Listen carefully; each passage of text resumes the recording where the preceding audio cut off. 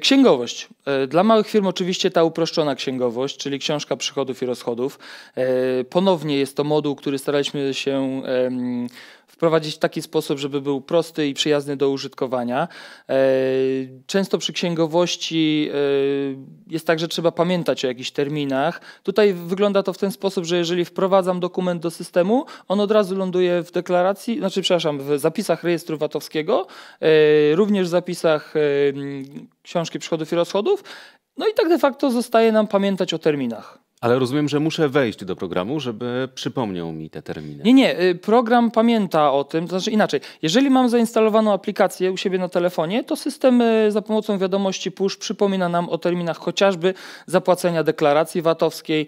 Y, nie musi tego za nas pamiętać nasza księgowa, czy też my sami. No właśnie, bo księgowość to jest dosyć skomplikowana sprawa i żeby dobrze ten temat ogarnąć, trzeba się na tym znać.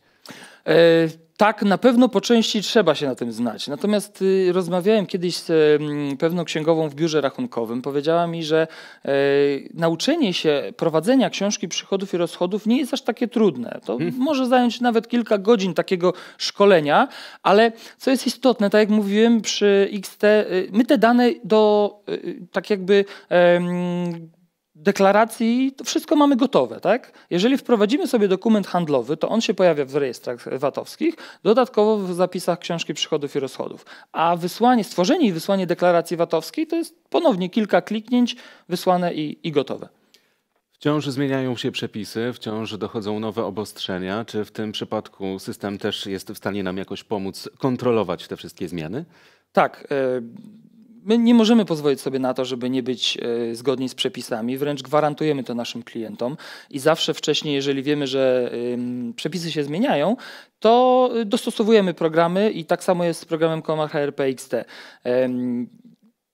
W, przyszłym, w, zeszłym roku była taka sytuacja, że weszły trzy takie duże rzeczy, które, które wiązały się z e, koniecznością wprowadzenia. Było to e, zmiana plików, e, znaczy wymiana plików JPK, mechanizm split payment, który służy też do e, płatności e, oraz weszły w życie przepisy RODO, które e, no, dość, że tak powiem, namieszały, jeżeli chodzi o, o rynek programów komputerowych. No namieszały bardzo i też nie każdy do tej pory wie o co chodzi e, z RODO. A co system może nam e, pomóc w tej kwestii? Tutaj RODO jest e, oczywiście wszyscy Państwo wiedzą, co to jest. To jest e, rozporządzenie o ochronie danych osobowych. Jest to, takie, e, jest to taki twór, który e, bardzo mocno namieszał. Niektórzy wręcz do granic absurdu to, to wykorzystują. Warte podkreślenia jest to, że nie tylko my jako dostawca i program jest gotowy na RODO, czyli, czyli my te dane, które, które mamy powierzone, przetwarzamy w sposób zgodny, ale też umożliwiamy naszym klientom wewnątrz systemu możliwość przetwarzania danych swoich klientów. Całkiem niedawno y, moja koleżanka była y, po prostu w sklepie, gdzie kupuje się firanki. E, I wiadomo, jak to jest. Podaje się wymiar, wybiera się krój, to są pewne dane. Nie, nie przychodzi się do takiego sklepu, bierze się firankę, firankę i wychodzi. Tak? No i tam e, pani powiedziała, że jak będzie gotowa, to do niej zadzwoni i, i prosi o numer telefonu. Ale zanim da ten numer telefonu, musiała podpisać papier, bo jest RODO.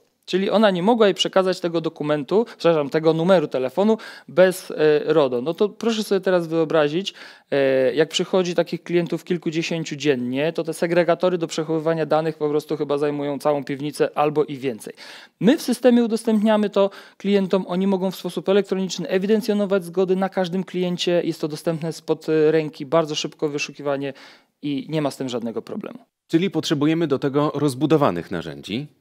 Y, no też nie tyle rozbudowanych, co ogólnie mieć możliwość wykorzystania tych narzędzi e, w systemie. Tak? E, tak jak mówiłem, staramy się, aby program był w pełni intuicyjny, e, żeby podpowiadał pewne rzeczy, żeby może nie wykonywał wszystkiego za nas, ale gdzieś tam te, te, te y, takie hinty y, przyszły do, do, do naszego użytkownika.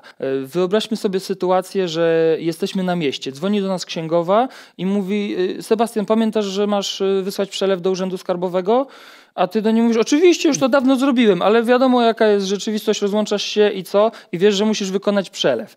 E, wchodząc do programu, wchodzisz sobie na listę e, przelewów, zaznaczasz te, które są na dzisiaj, ich może być nawet 20, generujesz paczkę do banku, po czym logujesz się do bankowości internetowej, wczytujesz tą paczkę i jednym kliknięciem wysyłasz ją do 20 czy nawet 20-30 e, swoich kontrahentów. Ale tak czy inaczej, z wywołaną tutaj już księgową, w pewnym momencie będę musiał spotkać się osobiście. Y, I tak i nie. Y, jeżeli sami nie prowadzimy księgowości w programie, to korzystamy zazwyczaj z usług y, biura rachunkowego. Tak? Moja księgowa jest super osobą i uwielbiam z nią rozmawiać, ale też de facto nie chce mi się jechać raz w miesiącu, czy nawet dwa razy w miesiącu na drugi koniec miasta, bo to znowu generuje stratę niepotrzebnego czasu. W komach RPXT mamy taką usługę, która się nazywa IWD, to jest internetowa wymiana danych. Jeżeli biuro rachunkowe prowadzi księgowość na programie Komar e, HRP Optima, który e, jest tak de facto wśród biur rachunkowych jednym z najpopularniejszych, to wysłanie takich e, dokumentów, paczki dokumentów z całego miesiąca do księgowej to jest ponownie kilka kliknięć.